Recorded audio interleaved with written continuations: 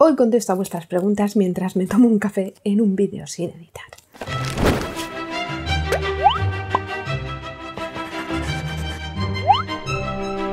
Hola a todos, ¿qué tal? Hoy voy a hacer el famoso vídeo sin editar, que ya lo intenté una vez pero no salió porque, bueno, era muy largo. Así que a ver si hoy hay más suerte.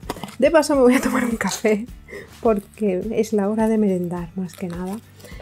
Y, y eso, y entonces ahora no sé cómo voy a llamar al vídeo, si dudas existenciales o tomamos un café. Yo creo que lo voy a llamar dudas existenciales porque a fin de cuentas es para lo que puse eh, estas preguntas aquí. Esto es un asquito, la verdad. Esto. Pero bueno, ya sabéis que yo no puedo tomar nada que lleve leche y entonces están todas esas cosas guays que si del Starbucks, que si no sé qué. Y, y yo no puedo tomarlas así que me conformo con esto. Pero me quiero comprar uno de esos vasos, yo no sé si aquí los venden, que son así, tienen la tapa así como esta, pero son de cristal, son como más bajitos y más gordos. En Londres los vendían, pero eran carísimos. Si alguien sabe cómo se llaman, que me lo diga abajo.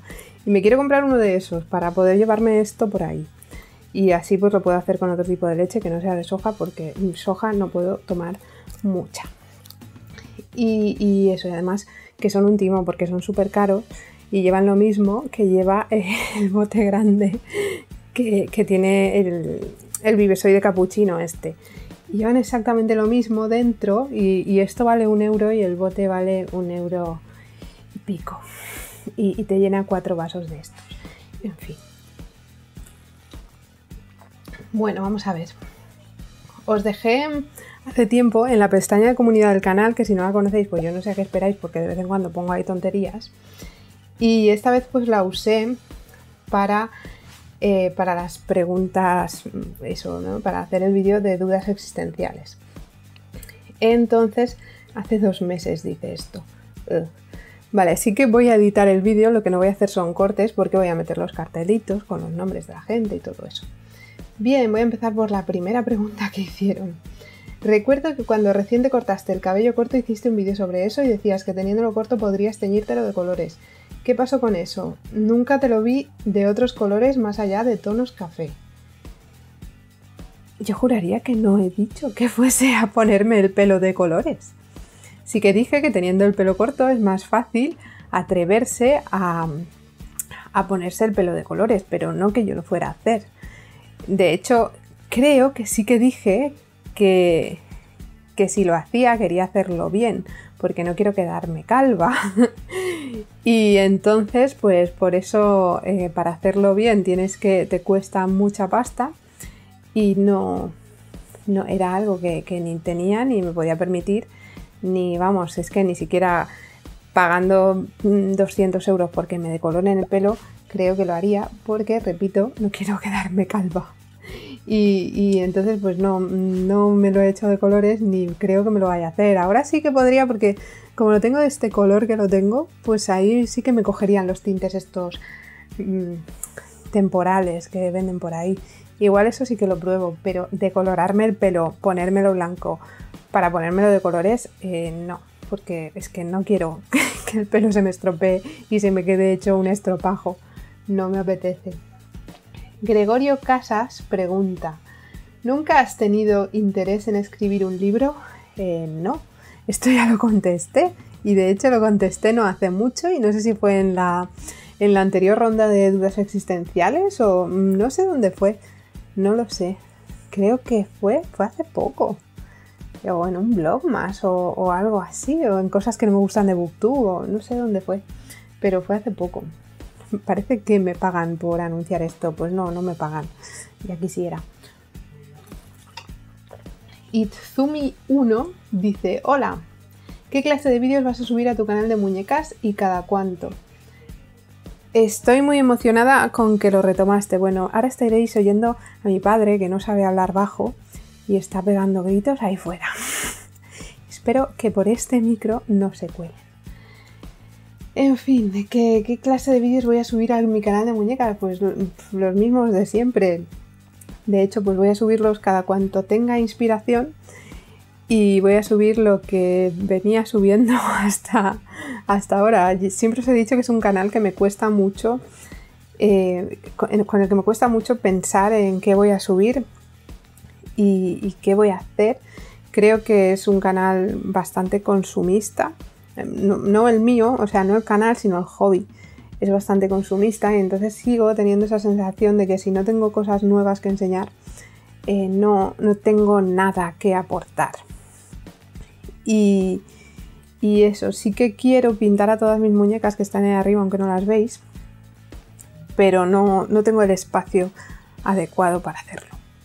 Y entonces, pues al no tener el espacio adecuado para hacerlo, pues no las puedo pintar. Y además tengo que practicar mucho antes de, antes de por lo menos pintar a Kida, Yori y a Oliver. Los demás me dan un poco más igual, pero ellos tres no quiero despintarlos hasta que no, no me asegure de volver a tener pues habilidades para, pintarlos. Entonces, bueno, si en algún momento me da por ahí o tengo un sitio donde pueda hacerlo, que ni siquiera sé si me funcionará ya el aerógrafo ni nada de eso, eh, eh, pues quizá haga algún vídeo pintando a mis muñecas, pero no lo sé, eso es muy a largo plazo. Eh, Ana María Domínguez, hola, al fin puedo participar. Espero que estas preguntas no sean repetitivas o de algún vídeo. Si es así, perdón, aquí las tienes. ¿Tienes alguna manía como lectora, como no dejar el libro sin terminar de leer capítulo o leer más? Marcar frases, alguna experiencia. A ver, bueno, hay varias, espérate. Primero, manía lectora. Hay un vídeo entero sobre manías lectoras. Yo no sé si esto lo puse antes o después de subir aquel vídeo. Supongo que lo puse antes. Y luego, pero sí que recuerdo, porque yo leí la pregunta en su momento y sí que recuerdo que ya lo tenía grabado. Pero no sé si lo había subido ya o no. Y luego, a ver qué más. ¿Alguna experiencia al comprar o mirar un libro? No, no sé, el libro vas, lo compras y la experiencia puede ser mala cuando decides abrirlo y, ver que es una gran decepción, pero ya está, no. ¿Y cuál es el personaje que más te gusta pero no está bien valorado en general?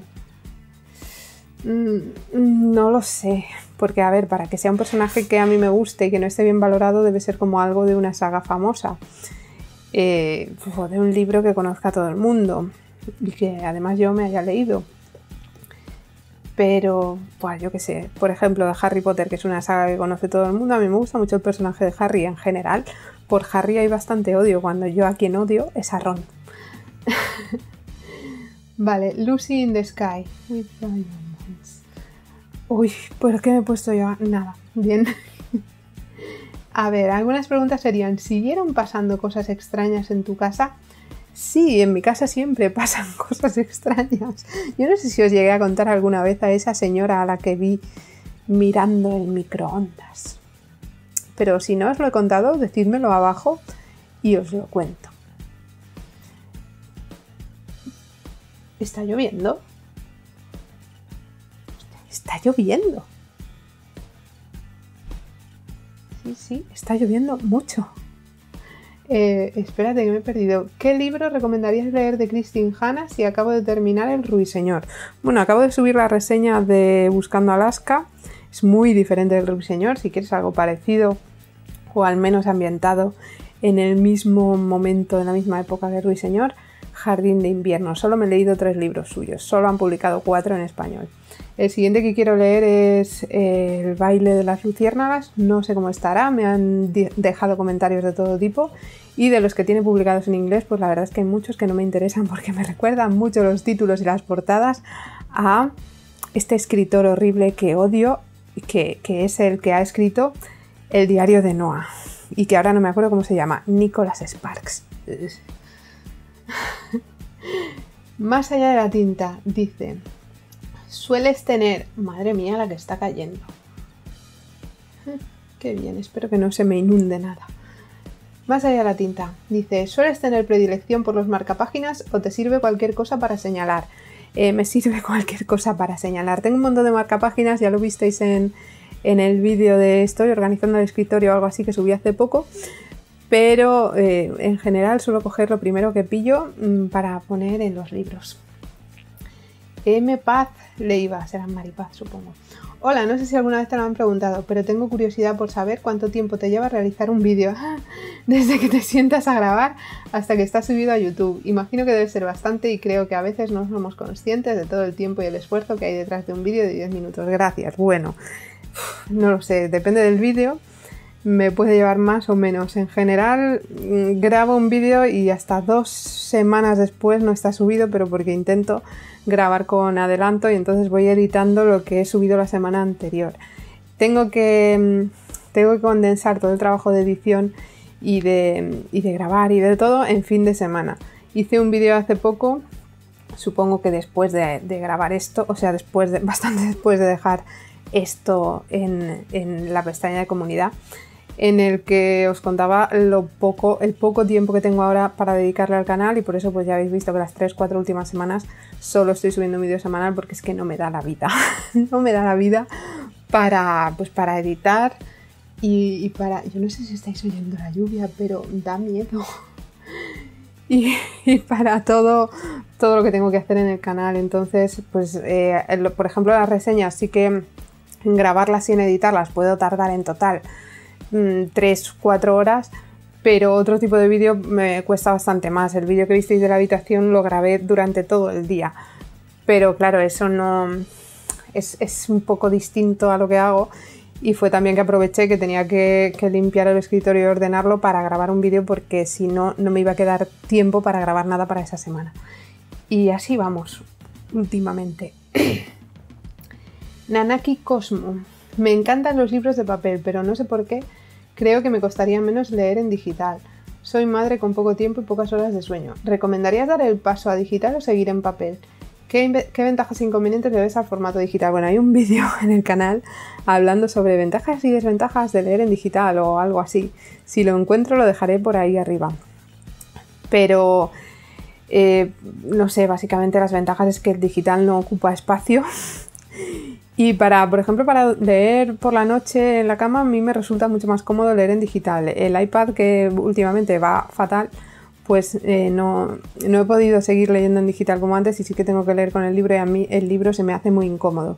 De hecho, se me hace incómodo en general, no solo, no solo para leer en la cama, sino en general. Es, es como que muchas veces no sabes cómo ponerte para, para leer. Imagino que también es porque no tengo un sitio eh, adecuado para ponerme a leer.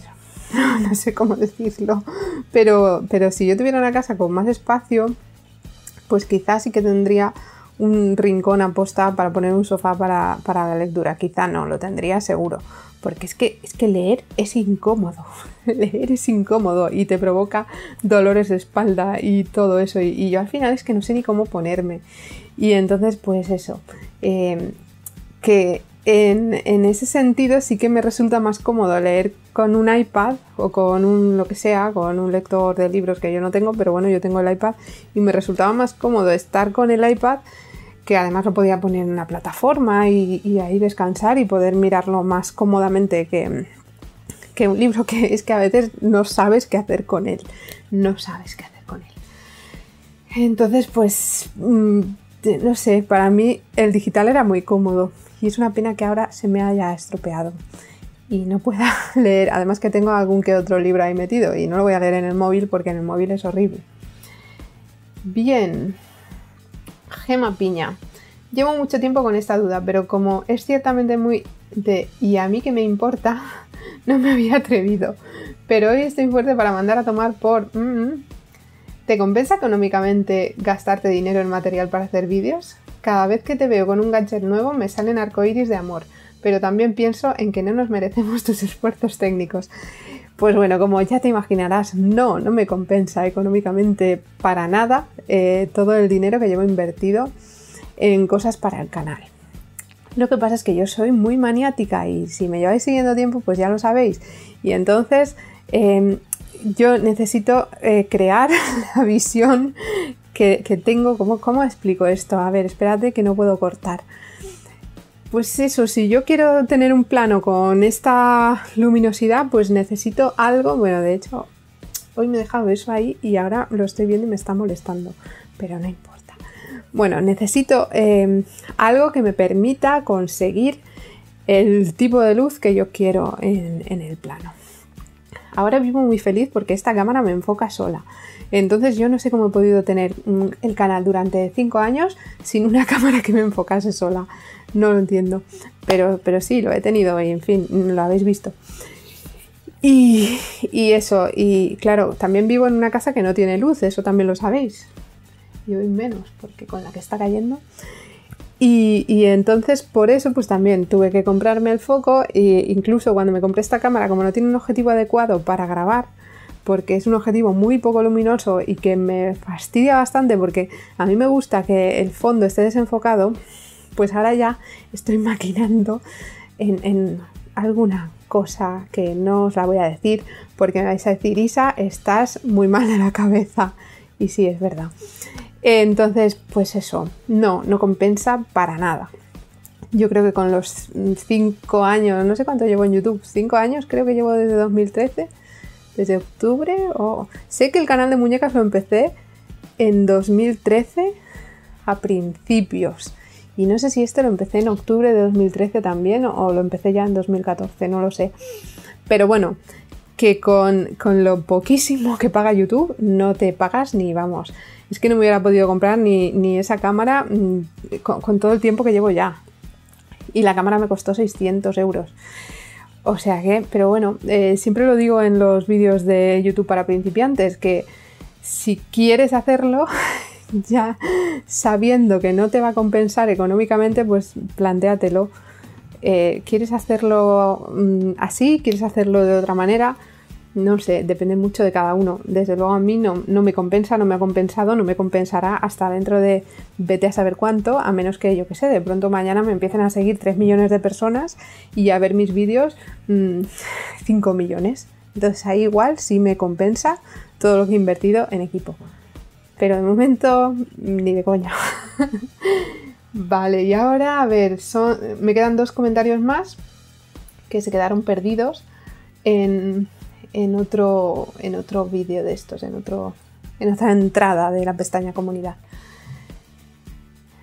Cristina MF me pregunta, ¿booktubers favoritos? Uf, qué mal haber hecho esto sin, sin haberme releído las preguntas y siendo un vídeo sin editar. Booktubers favoritos. Bueno, no, no, no sigo a booktubers por serlo, sino que yo sigo a la gente que, que me gusta lo que hace. Hay algunos vídeos en el canal de mis youtubers favoritos, no sé qué. Y entonces pues básicamente serían todos esos. Eh, no los puedo linkear arriba y seguro que me voy a dejar a la mitad, pero eh, Juanito Libritos tiene que ser el primero en, salir en, este, en esta pregunta. Eh, ¿Quién más? Kazu, aunque lleva mucho tiempo sin subir, su canal es WonderZoo, porque está ahora haciendo posiciones y, y entre que ella está haciendo posiciones y que yo estoy trabajando 40 mm, horas a la semana, pues casi no me da tiempo a ver YouTube y creo que ella tampoco tiene mucho tiempo para subir cosas. ¿Quién más? Carlos Carranza, que también lleva bastante tiempo así subiendo de manera intermitente, aunque he visto que sí que ha subido vídeo estas últimas semanas y que ha estado subiendo más cosas. Magra, de Magra Tajos Tiernos, también es una de mis booktubers favoritas, ella sí que sigue subiendo regularmente, creo que es la única que mantiene, bueno, ella y Juan siguen manteniendo el nivel. Eh, Silvia de, de Silver Blogs, lo que pasa es que ella tampoco está, bueno, ella no sé si llamarla booktuber porque últimamente está más en cine y series y, y no, no, está subiendo tampoco cosas, pero bueno, eh, de vez en cuando sí que tiene estos, estos parones, pero luego vuelve con fuerza y me sigue gustando mucho lo que hace. Y Diego marca páginas, él tampoco ha hecho ningún parón que yo sepa y también sigue subiendo cosas de manera regular y me gusta mucho lo que, lo que hace y, no sé qué más, no se me ocurre nadie más ahora, yo creo que ellos son mis imprescindibles. ¿Qué más? ¿Qué más? ¿Qué más? Lunaleja dice... Así, espérate. ¿Asistes a explosiones? Me gustaría saber sobre tus museos de tu ciudad o tus explosiones favoritas. No, a explosiones no asisto. Vale, yo imagino que esto es una mala jugada del autocorrector y que, vamos, estoy segura de que quería poner exposiciones y, el autocorrector se la ha jugado y no se ha dado cuenta. Así que no, a explosiones espero que no asista nadie. Pero a exposiciones sí, de vez en cuando, cuando tengo tiempo, que últimamente es poco, voy a exposiciones. En mi ciudad que hay, pues uno de los museos que más me gusta es el Museo del Carmen. Yo soy de Valencia. Y, eso se llama, pues es el Museo del Carmen. No, sé si tiene algún otro nombre, pero, pero es, es uno de los más chulos que hay. Además la entrada es gratuita. Y a ver, aquí en Valencia se paga por entrar a algún museo, tampoco es que tengas que pagar 18 mm, euros, creo que me costó la última vez el Prado, o 14, ahora no estoy segura. El Prado en Madrid pero aquí en Valencia pues algunos si te cobra te cobra 2 o 3 euros. Aquí qué hay? Está el MUBIM, que es el Museo Valenciano de la Ilustración y la Modernidad. Hace mucho que no voy, no debería decir esto porque encima está al lado de mi trabajo, pero hace mucho que no voy. Es que no sé, tampoco tienen... Sí que hay ahora una exposición de fotografía, pero no me interesaba mucho. Eh, luego está el IBAM, que es el Museo mm, Instituto Valenciano de arte moderno. Al IBAM sí que voy de vez en cuando, los domingos es gratis. Y, el resto de días se paga, pero muy poquito, no sé si son 3 euros o algo así. Yo pues, suelo ir los domingos porque es cuando tengo tiempo, más que nada. Eh, luego está mm, el Museo de Tecnología, que es, la beneficencia a la vez. Ay, ahora no lo sé, ahora no sé si la beneficencia es el del Carmen o es ese. Bueno, ese está al lado del IBAN prácticamente. Y, ahí hasta junio, que todavía no he podido ir a verla, no, hasta junio no, hasta agosto, ahora no sé cuándo es, está la exposición de los daguerrotipos, de daguerrotipos no, de las fotografías post-mortem, que sí que me interesaría verla, pero es que todavía no he podido ir porque soy lo peor. Así que espero ir este mes. y luego está, eh, está eh, el Star de Bellas Artes, que bueno, fui un par de veces durante la carrera pero que no me interesa mucho, es pintura y es pintura vieja. Y es que me aburren esos museos que queréis que os diga. Y creo que ya está, no sé si hay algo más por aquí. Luego hay algunas galerías, algunas que han ido cerrando, otras que sobreviven. Y, y bueno, de vez en cuando pues vas y te, no sé, si tienen algo que te interesa, pues entras y lo ves. Y ya está. Ah, y está la NAU también, claro. Sí, la NAU, me he olvidado de la NAU. En la NAU estuve hace poco porque hicieron las proyecciones de Fotón y se proyectaba uno de mis trabajos. Entonces ahí fui hace poco. Y ahora está. No sé lo que hay ahora en la NAU, aparte de lo de Fotón. Pero sí allí te pasas de vez en cuando y a ver qué, qué cosa están poniendo. Hace poco había una cosa sobre urbanismo, no sé qué. Pero como gustarme, el que más me gusta es el del Carmen porque además tiene muchas salas y además el entorno es muy guay. Es muy guay. Y la sala de arriba del todo, que se llama la sala del dormitorio, es maravillosa. Puse una foto hace no mucho en, Twitter, porque hubo ahí, en Twitter no, en Instagram, porque hubo ahí una, una exposición de fotografía que me interesaba. Y ya está. Ya está, se han acabado las preguntas, así que me alegro porque llevo 23 minutos, todavía no hemos llegado a media hora que ahí se me corta. O sea que aquí lo dejamos hoy. Eh, os recuerdo que os paséis de vez en cuando por la pestaña de comunidad del canal. Bueno, a ver, entras al canal y arriba del todo pone inicio, vídeos, listas de reproducción, comunidad. Pues comunidad. ¿Qué es eso? ¿Es un teléfono o es la tele? No lo sé. Bueno, pues eso, vas a la pestaña de comunidad y ahí hay cosas. O sea, ahí yo voy poniendo cosas de vez en cuando. A veces se me olvida, pero... ¿Y ahora por qué parpadeas? pero sí que pongo cosas de vez en cuando. Por ejemplo, ayer puse un, puse un mensaje porque había visto, he visto una cosa que hicimos en Twitter y me parecía curioso. Y dije, pues lo voy, a, lo voy a poner aquí. Así que si queréis saber lo que es, podéis pasar por la pestaña de comunidad y lo veis. Y nada, que hasta aquí el vídeo de hoy. Muchas gracias a todos los que habéis mandado vuestras preguntas. Espero que os haya gustado. Y si os ha gustado, pues ya sabéis, lo podéis compartir con todo el mundo. Atentos a la pestaña de comunidad porque a partir de ahora será lo que use para hacer eh, este tipo de, de vídeos. Y nada, que espero que os haya gustado el vídeo. Si os ha gustado le podéis dar like, lo podéis compartir. Creo que ya lo he dicho. Sí, ya lo he dicho. Es que se me va la pinza con esto y luego lo puedo cortar, pero ahora no. Si os gusta el canal os podéis suscribir ahí abajo y así me ayudáis a romper la maldición de YouTube y a conseguir el botón de plata. Y a que mi inversión en equipo YouTube me la devuelva en algún momento. En fin, si ya estáis suscritos le podéis dar a la maldita campana y así YouTube dice que os avisará. Pero no os fiéis mucho porque quién sabe. Si no os avisa me podéis seguir en Twitter o en Facebook porque ahí aviso yo y yo soy más de fiar que YouTube. Nos vemos por aquí pronto con otro vídeo y espero que paséis una muy buena semana. Hasta luego.